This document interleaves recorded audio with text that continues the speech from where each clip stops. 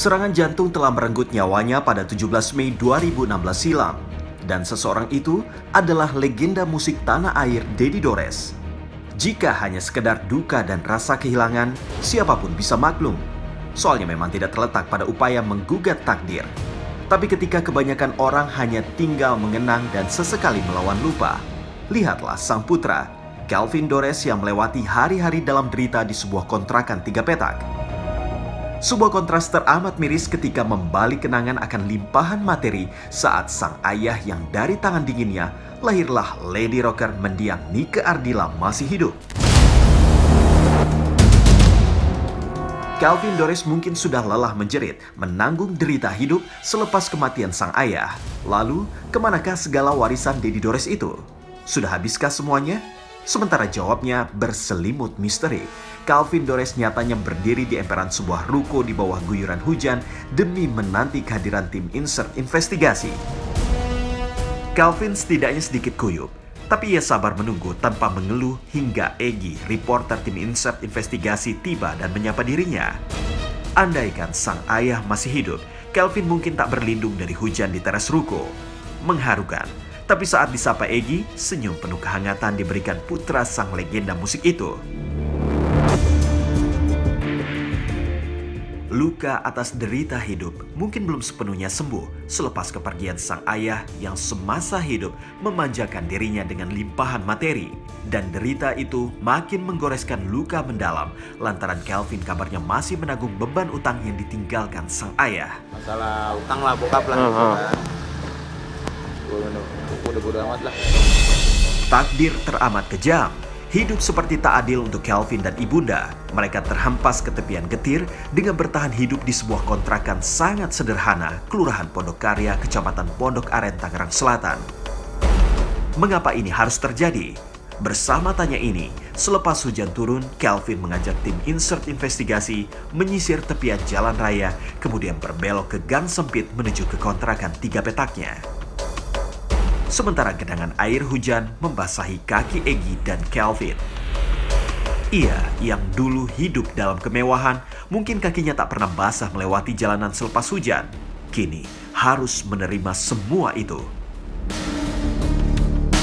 Mas Kelvin tinggal di sini udah berapa lama? Dari kapan?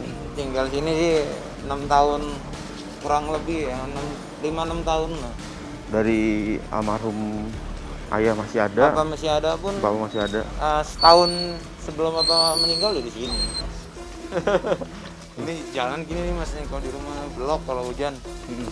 karena tadi kedua nggak hujan loh ini rumah gua nih. Oh, mana? Oh di sini. Di sini. Oh di sini. Masuk aja mas. Mungkin aja begini. Anak keluar soalnya. Beginian itu pintu ajaib izin masuk ya mas? Iya iya. Ngobrol-ngobrol Kontrakan tiga petak, tempat Calvin bersama ibunda serta istri dan anak berlindung dari terik panas serta hujan, mengalirkan paradoks. Potret kontrakan dengan cat kusam yang sudah terkelupas, ruang tamu teramat sempit, kamar tanpa dinding, hingga kondisi dapur serta kamar mandi yang jauh dari kesan mewah dan glamor, atau tak seperti rumah mewah yang ditempati Calvin saat sang ayah berada di puncak kejayaan sebagai pencipta lagu dengan karya lebih dari seribu lagu yang lebih mengharu biru, nyaris tak ada barang mewah seperti sofa empuk hingga TV berukuran besar yang ada di sana.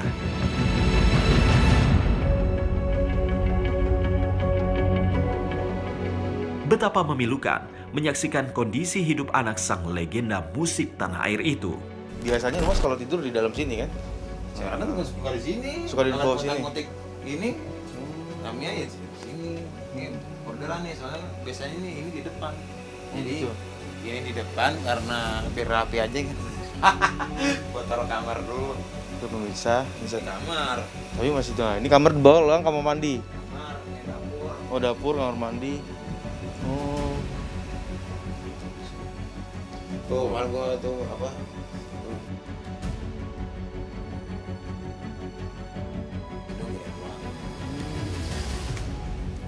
Gak kebayang kan sosok dari udah lau lagi di center juga lah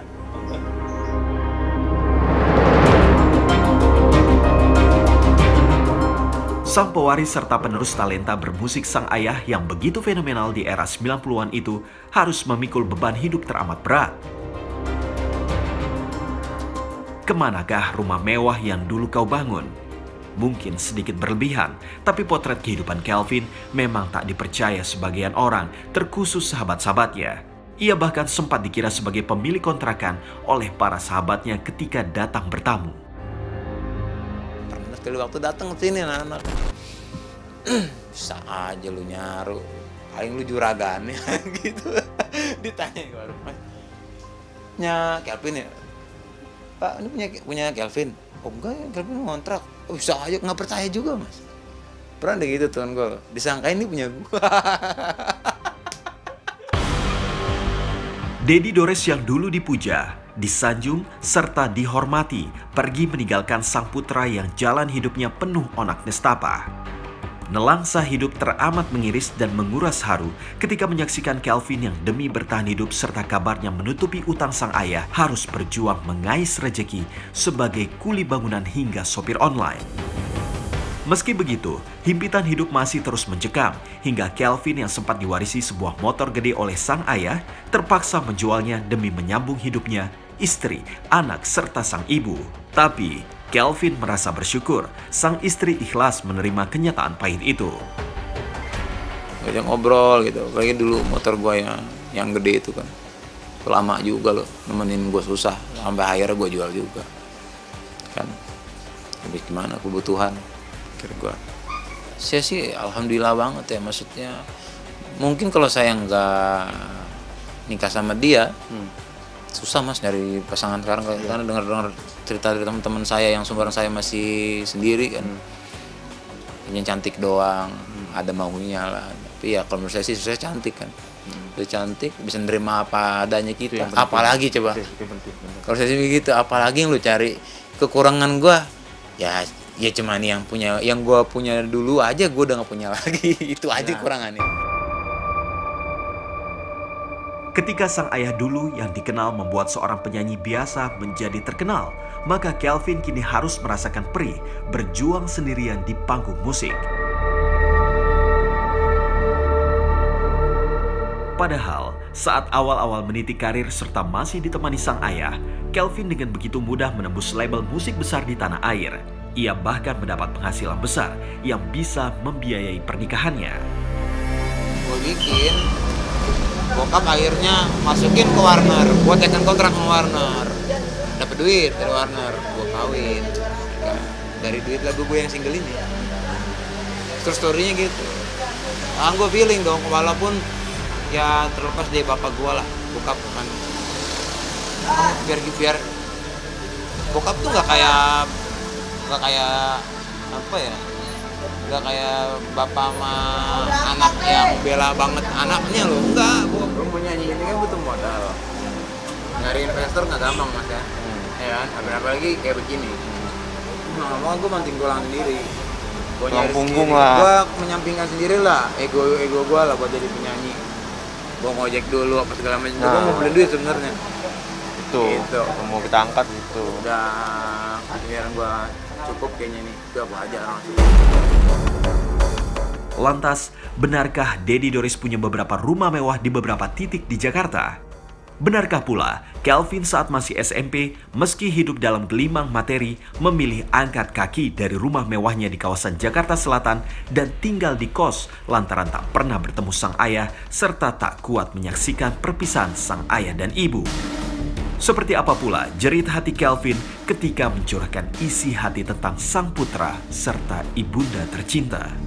Simak kisahnya saat lagi hanya di Insert Investigasi.